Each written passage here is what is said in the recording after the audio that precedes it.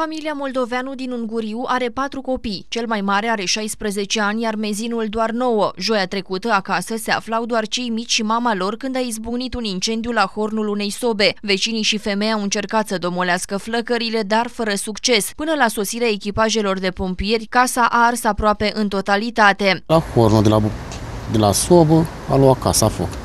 Când s-a întâmplat asta? Joi, la ora 15. Și n-ați mai putut să mai salvați nimic. Nimic, nimic. Și acum ce faceți? Unde stați? O parte stăm la cumnatul meu, o parte stăm la mamaia. Era casa pe care ați făcut-o așa de-a lungul vieții și acum Da, ați da. rămas fără nimic? Fără nimic, fără nimic.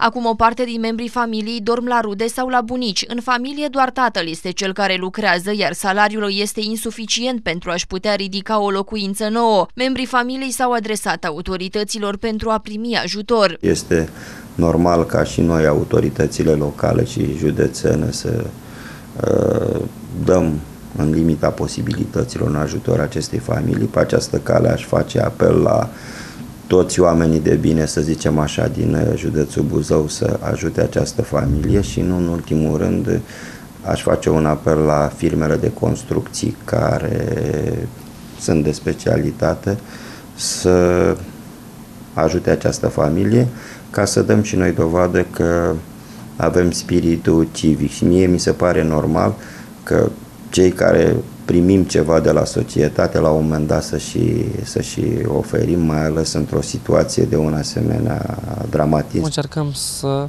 îi ajutăm de la primărie, de la Consiliul Județean, de la oameni de bine care au răspuns apelului nostru, să le reconstruim casa până în uh, iarnă. Sperăm noi să reușim. De aceea facem acest apel la oamenii de bine să gândească și la seminilor. Adică pot ajuta cu bani, cu materiale, pentru uh, bani.